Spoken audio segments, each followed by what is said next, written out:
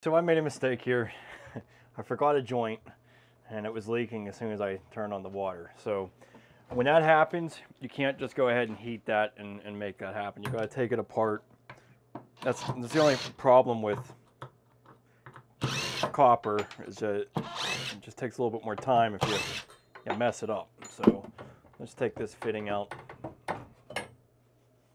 And then I'll just have to re-sand the, the parts and put some new flux on it because all that flux is probably gone now that the